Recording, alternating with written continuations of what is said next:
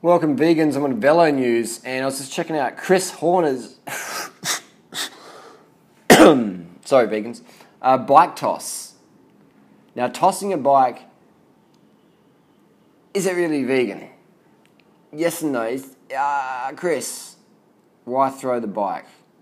You know, these people working in the factories in Asia to buy the to make the bike, and we just throw it on the ground, and, and you, you don't really want to ride a bike that's been thrown on the ground like that. So Chris, he lost a bit of points there in the style maneuver, slow mo. That's pretty good slow mo. Whoever got that shot, that's fucking pretty good. Chris, no throw. All right, so here we got the Bjarne Riis. He does the cannon. I remember this is '97 Tour de France. I remember being a big fanboy of Bjarne Riis, and when he did this, I ran into my room and I literally pulled off the Bjarne Riis poster I had on my uh, on my, my chest of drawers. I had all these cycles stuck on there. And why did I do that? I just thought he was just such a fucking prima donna, and he didn't. It's just like, why the fuck are you throwing your bike? Like it's just, don't be a soft cunt. Don't throw your bike, man. Dave Millar, another rich kid, too much money. Look at this. Whoosh.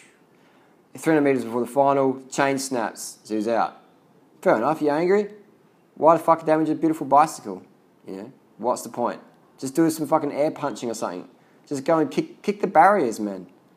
Kick the barriers. So Dave Millar, another sport brat, throw the ten thousand dollar bike over there. This is probably the, this is probably the worst one. Marcel Kittel, bam! Look at that. Look at that. That bike is getting hundred percent thrown to landfill. You know what I mean? He's fucking. I just don't get it, man. These athletes get too paid too much money, and they're throw, they're fucking having dummy spits and they're throwing their bikes. Shit, have a dummy spit, but why do property damage? Why smash your bike?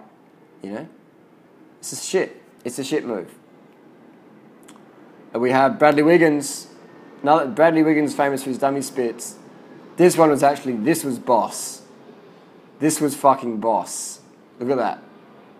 This is I think it was in Lombardia. He got dropped after this because the gearing was fucked in his bike, wrong gears. But that is boss. Park the Pinarello like that. Boss.